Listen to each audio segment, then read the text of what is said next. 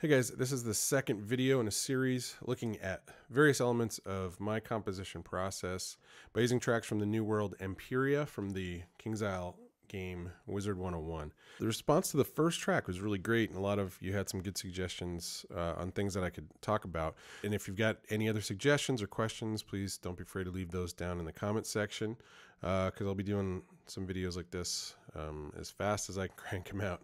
So in this video, we'll be looking at how I approach writing action music and specifically looking at this track. It's called Sepidious Combat, which takes place inside a giant space, giant flying space squid, as it was described to me by the developers. When you write for video games, you're usually ask for two general types of music exploration tracks and combat tracks. I personally find combat tracks to be a lot more challenging for a few reasons. When you're writing for exploration tracks, you're really trying to set the scene uh, for that part of the world. And usually those scenes can kind of shift dramatically. It's industrial or it's natural, it's organic or it's, you know, in a, it's in space or it's in a house, you know. There's a lot of potential artistic directions uh, that you can take it. For combat tracks, you're mostly trying to describe the action, and, and action tends to be action. You know, it's there's you're, you're trying to describe the human emotions of like you know desperation and you know adrenaline pounding and you know all the energy that, that goes behind that. So in combat tracks, you're trying to describe one thing. Exploration tracks, you're setting the scene and getting to describe a lot of other things. So I find combat tracks to be it's harder to come up with new material because it's it's the same thing no matter where you are. So the other reason that uh, combat tracks are usually more challenging is that they're at a faster tempo. Uh, this one's at quarter note equals 108 BPM, but if you look at a time signature, it's in 6-8, so it's actually moving along twice as fast. 1, 2, 3, 4, 5, 6, 1, 2, 3, 4, 5, 6. It's moving along pretty good. Faster tempos mean you're, you're actually filling more bars to, to, to go to your time limit. So I usually write two minute loops. I'm asked to write two minute loops by the developer. And if I have to do it at a faster tempo, I just, I need to write more bars to fill that two minute. So we, the main kind of idea that we're trying to get across is that we want to keep them off balance. You know, we don't want them to be able to anticipate what's coming next because that makes it feel more uh, tense and feel more uh, things really matter right now. We also, and this might be surprising, the music should be making the player feel a little bit uncomfortable so that they want to move on so it kind of propels them forward. I usually wind up alternating uh, between inspiring the player, like trying to push them forward by giving them, you know, really big epic themes to make them feel inspired, and then putting them in an uncomfortable position. So we're trying to make them feel uncomfortable yet inspired, and desperation and adrenaline, and keeping them off balanced. So let's listen to this track first, uh, and then I'll talk about some specific examples of how I'm doing this.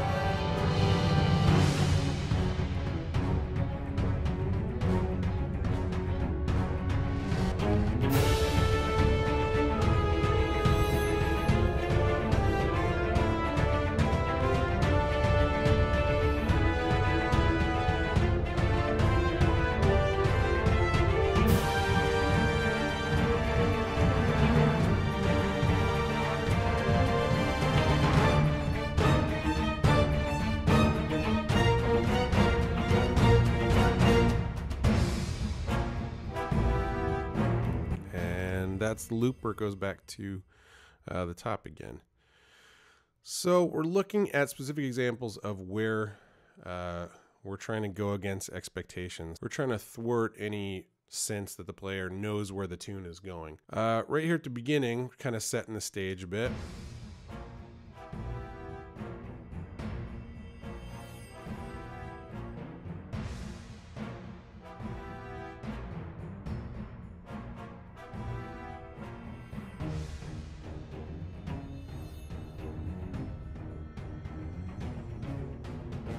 Right here, I set an energy level uh, and then try and crank it up a little bit almost immediately. I, I might have talked about this before, but I really believe in uh, dynamics in music. It's what makes music exciting. There can't it can't be at one energy level the whole time. So I like to pull the energy levels up and down. You know, build it up and then and kind of break it down. That's the the normal ebb and flow uh, of a story. Like if you think about a movie, kind of the dramatic arc. Now, in the real world of orchestral writing, strings actually can play for longer than the wind instruments, wind, wood, woodwinds, and brass, uh, because you know they're not buzzing their lips or having to blow into the instrument, and you know you need to take a breath eventually. Strings can kind of go all day these are obviously samples. I could I could hold down a brass note all day and the the sound would keep happening, but I don't like to do that. I try and write, you know, as realistically as practical for any situation because if you want your music to sound real, then you have to consider the things that a, you know, a composer for a live orchestra would consider.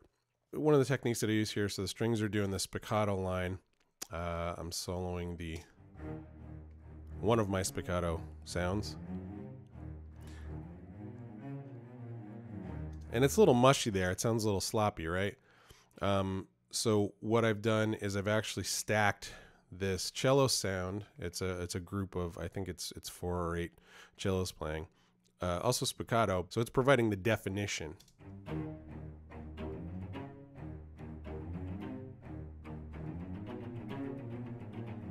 So that sounds a lot more on point. So the beginning is is sort of setting the stage and, and establishing a, baseline energy level from which we can kind of build up and, and come down if we want to. So we build up into this next section.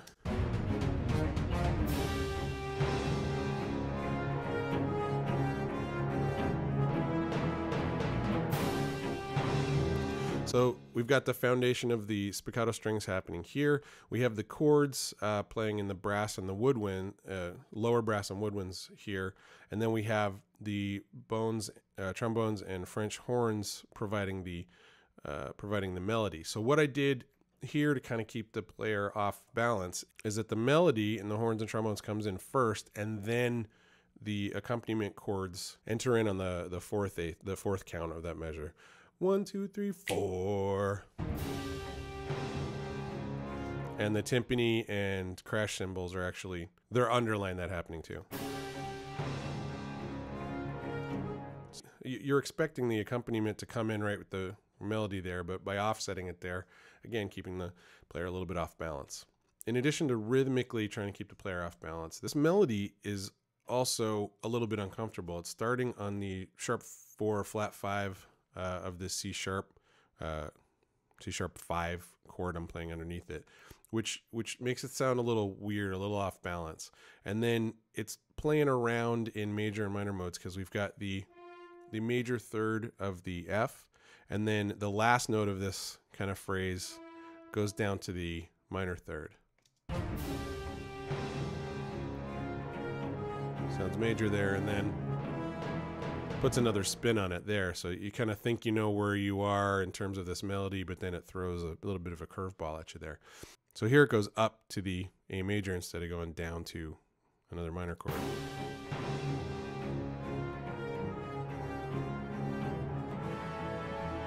That's part of the kind of going back between uncomfortable and inspiring. That chord, you know, feels very triumphant uh, when when you put it kind of at the end of that musical phrase. Next section, these are called polychords. Usually, when you stack two different uh, chords on top of each other, and you kind of let them fight. It's kind of like putting two chords in a uh, in a death match, and then you know seeing what happens. Uh, so the first chord comes in, and then the next one happens, and it just it really contrasts and, and fights with the first chord.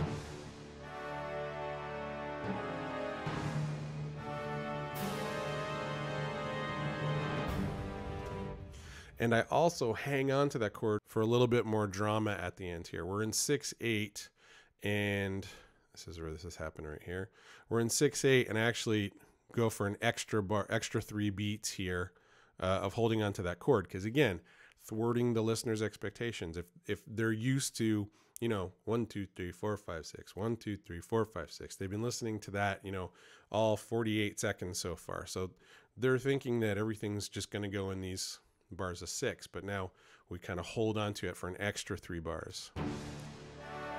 One, two, three, four, five, six. One, two, three, four, five, six. One, two, three, four, five, six. One, two, three, one, two, three, four, five, six. And then back into six again. And then uh, keeping the player off balance again. Here we kind of have these little shots that are coming at sort of odd intervals.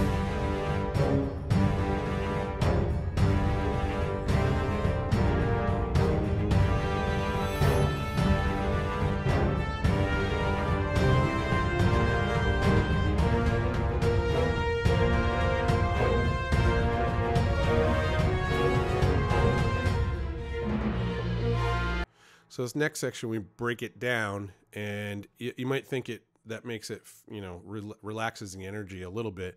It does, but then it kind of re- immediately ratchets it back up as you realize you don't really know kind of what time signature in anymore. It sort of breaks the time signature.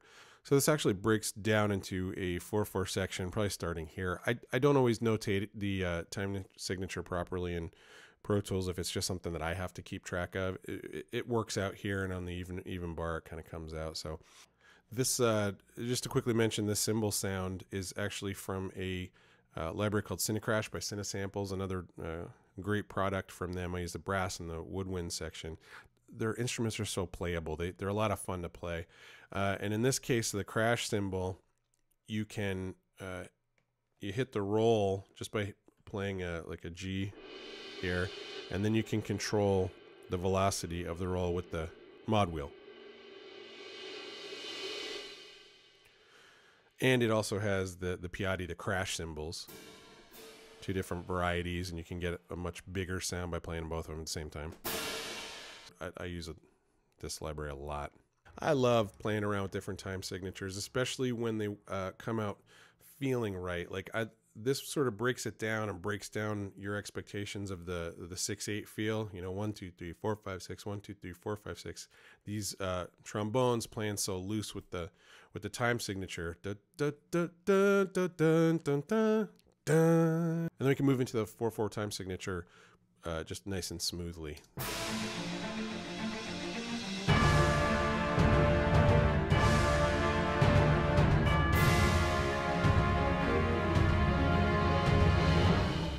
This section is a call back to a section level that uh, it's kind of the dark superhero feel. We have these big kind of chords, and we have the uh, orchestra chimes playing down here, sort of echoing the the chords that are going on, and just you know big percussion kind of doing its thing down here.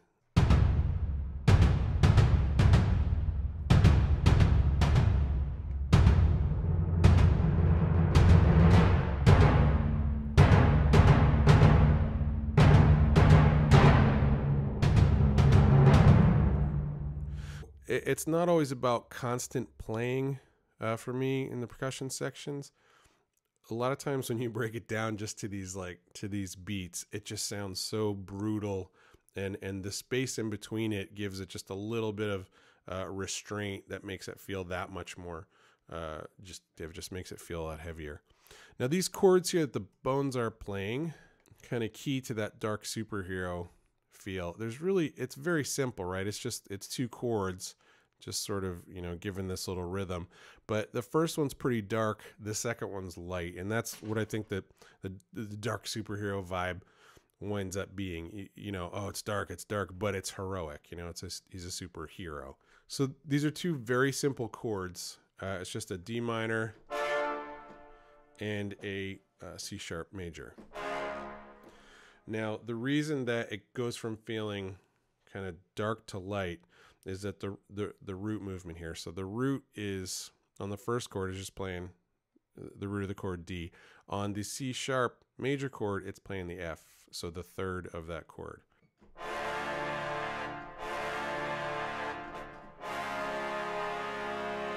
And that third in the in the bass actually a little twist to it. It's not it's not a full on major chord. It's not full on happy triumphant. It's there's a little bit of an asterisk. You know, that's sort of the tortured part of it. And we have these uh, horns and bones kind of playing this little fanfare uh, section, sort of at a time, just whenever the heck they feel like it.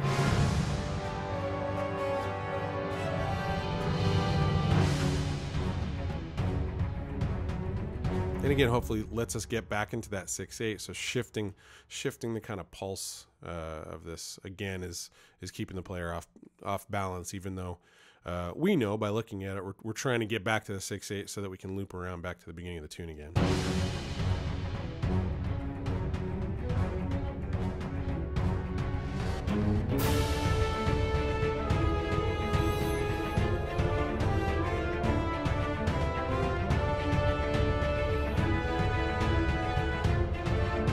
triumphant themes here, going back to the uncomfortableness.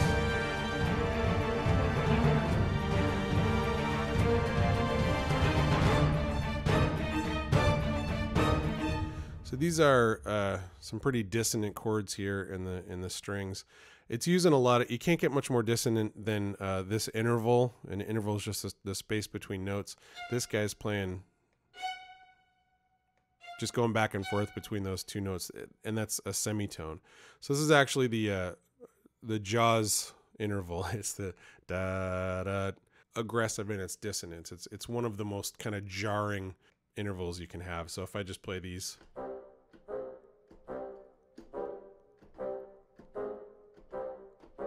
If, if you're looking for a very simple statement of aggression, you know that's that semitone you know feels really aggressive. You can play it like in the low strings. You know, immediately just just sounds dark and aggressive. You know, you have to start the track in in A key. So I usually wind up just picking a key, and then I wind up wandering all over a bunch of different keys throughout the course of the of the tune. So probably about a minute and a half in, I as I'm writing, I start looking for ways to get back to the original uh, to the original key signature so I can make the loop cleanly. And here, it, it's really handy because this is supposed to be really dissonant. So whatever key I'm in, I can just switch to the initial key. And even if it sounds really jarring, um, th that dissonance is, you probably won't notice it uh, amongst the rest of the dissonance.